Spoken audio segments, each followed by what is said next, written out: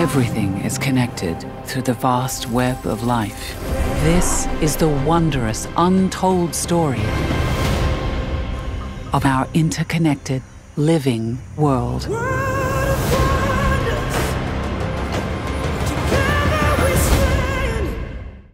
Mary Jane sponsored Snoop's High Roads tour around the same time he dropped his weed anthem Kush Ups, featuring Wiz Khalifa. Mary Jane wanted to shoot Kush Ups live, so we one upped it and proposed immersive VR for what would be Snoop's first 360 music video. Tybo, five, four, three, two, one. We're currently at the center of the world, Accra, Ghana. As a family, we use Microsoft for almost everything.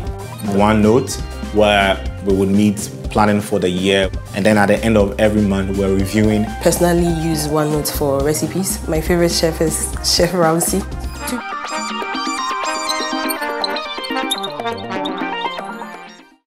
From first to 150th, it's a battle, and, and that's what's beautiful about our sport. Connecting the mind with the body and overcoming everything we have, that's, that's cycling.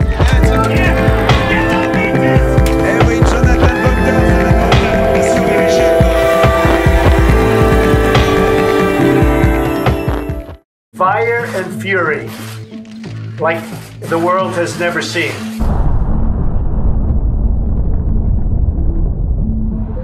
Nuclear Descent is a look back at yesterday's anti nuclear movement. There were lots of people wanting to go and protest. And what it teaches us about the dangerous world we live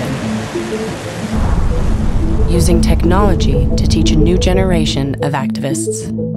And by entering their addresses in a dynamic map, viewers can see the effects of nuclear fallout on their lives.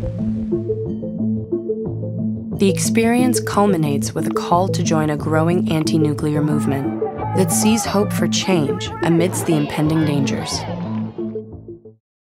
Sons of Gallipoli brings the lessons of the past into the future with an interactive documentary about one of the bloodiest, yet most inspiring battles of World War I. Gallipoli has come to symbolize peace among enemies, passionate individuals from both sides of the conflict.